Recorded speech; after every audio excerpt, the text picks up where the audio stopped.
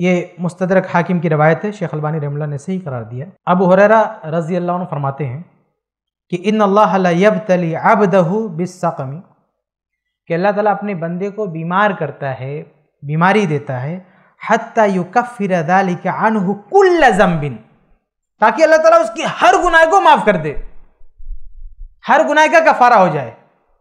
तो ये बहुत बड़ा बेनिफिट है एक बीमारी का कैसी भी बीमारी हो तो हमें बजाय इसके कि उसको पापी बोले गुनेगार बोलें, अल्लाह का अजाब बोलें, ये उम्मीद रखनी चाहिए कि इन तकलीफ़ों की वजह से अल्लाह ताला इसके गुनाह माफ़ कर देगा। और ये बिल्कुल जो है, गुनाहों से पाक साफ़ होकर अल्लाह के पास जाएगा, अगर इसकी मौत हो गई तो। ये बहुत अच्छी चीज़ है कि आदमी के गुनाह इसी दुनिया में माफ़ हो जाए। ये बीमारी का बहुत बड़ा फ़ायदा है तकफीर जनूब, गुनाह माफ़ होते हैं।